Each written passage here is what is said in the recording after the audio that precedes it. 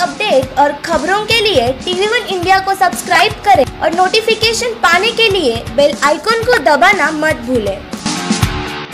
सोनिया गांधी ने मोदी सरकार को घेरा कांग्रेस शासित राज्यों के मुख्यमंत्रियों के साथ बैठक के बाद लॉकडाउन के तरीके पर उठाए सवाल, न पैकेज न प्लान फिर कैसे बचेगी इकोनॉमी और रोज़गार? कोरोना पर केंद्र सरकार के आरोप के बाद बंगाल सरकार ने जारी किए नए आंकड़े। ममता का खुलासा, बंगाल में अब तक 1344 कंफर्म केस सिर्फ़ 140 की मौत, मोदी सरकार के साथ फिर बढ़ी तकरार। बिहार में कोरोना के कारण ड्यूटी से भागे तीन सौ बासठ डॉक्टरों पर होगी कार्रवाई। नीतीश सरकार ने जारी किया कारण बताओ नोटिस। बिहार में 31 मार्च से 12 अप्रैल तक गायब थे 27 जिलों के डॉक्टर।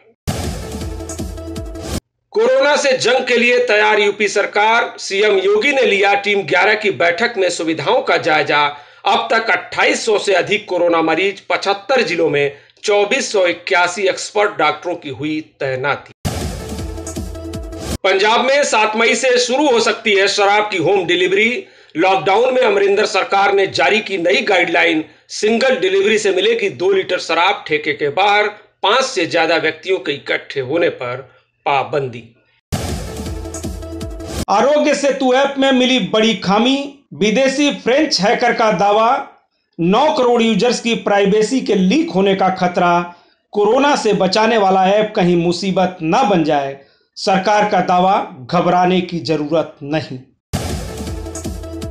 महाराष्ट्र में कोरोना का कहर जारी, पंद्रह हज़ार से अधिक कंफर्म केस अब तक 617 ने गंवाई जान 24 घंटे में 841 नए केस चौंतीस की मौत, मुंबई में मरीजों का आंकड़ा पहुँचा दस हज़ार के पार।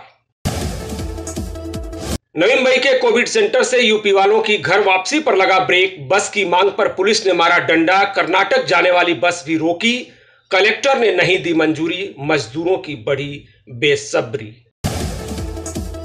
नवी मुंबई में 400 के पार हुए कोरोना मरीज़, एक नंबर के साथ फिर बढ़ा मौत का आंकड़ा महानगर पालिका वासी सिटको एग्जीबिशन सेंटर में तैयार करेगी 1200 बेड का कोविड केयर सेंटर।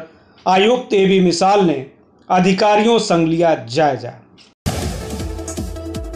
पनवेल मनपा क्षेत्र में तेज हुआ कोरोना संक्रमण 24 घंटे में। कामोठे से तीन और खारघर से तीन नए मामले सामने आए। 70 पर पहुँचा आंकड़ा 41 लोगों की रिकवरी से बढ़ी राहत।